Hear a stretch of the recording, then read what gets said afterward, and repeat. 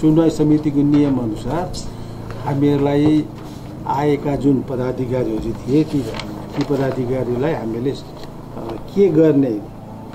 यो समितिले उसलाई पठाउने अथवा पास गर्ने कुराहरू गर्यो या गरेन भन्ने खालको कुरा हुन्छ।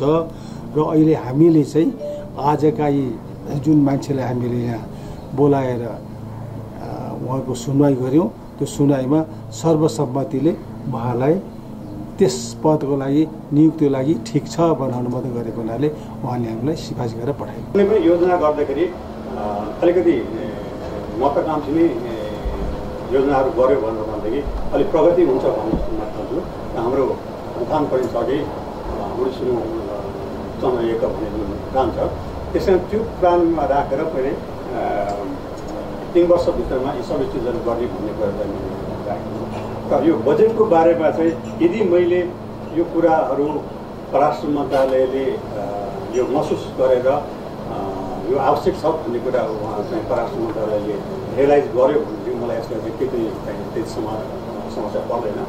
र समस्या नपर्नुको साथसाथै मैले सुरुवात मात्रै गर्न सकेँ भनेर भनेदेखि त्यो चाहिँ क्रमशः त्यो चाहिँ वृद्धि हुँदै जान्छ।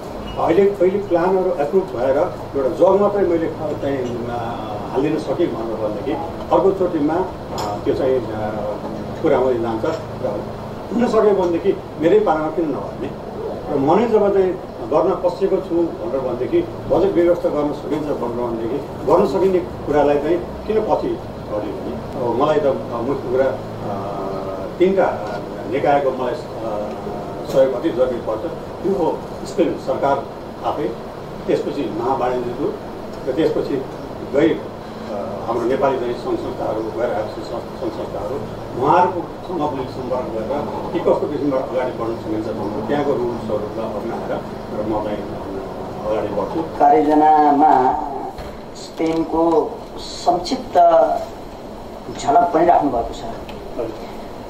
तपाईँले प्रस्तुत गर्नुभएको झलकमा स्पेनको शैक्षिक अवस्था अथवा साक्षरताको अवस्था शत प्रतिशत छ भनेर राख्नुभएको छ तपाईँले आफ्नो जो कार्ययोजना छ त्यो कार्ययोजनामा त्यो शत प्रतिशत शैक्षिक स्थिति भएको र नेपालको हामी शिक्षामा अझ प्राविधिक शिक्षामा धेरै पछाडि भएको अवस्थामा यो दुईटालाई जोड्नको लागि स्पेनको त्यो शिक्षाबाट प्राप्त भएको जो चिज छ त्यो नेपालमा रहेको अभावलाई जोड्नको लागि यहाँले कुनै सोच्नु भएको छ कि छैन? कार्ययोजनामा शिक्षाबारे यहाँले विषयवस्तु राख्नु भएन।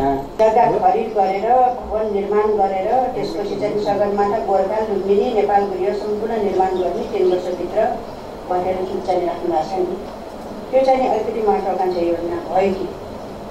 यो कसरी चाहिँ गर्ने सम्भव देख्नुभयो?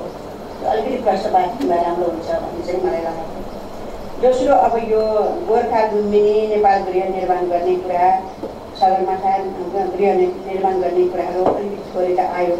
तर कस्तो खालको यो सोच हो? कस्तो खालको त्यो गृहभित्र कस्तो खालको योजनाहरू हुन्छ? कस्तो खालको चाहिँ व्यवस्थापन हुन्छ?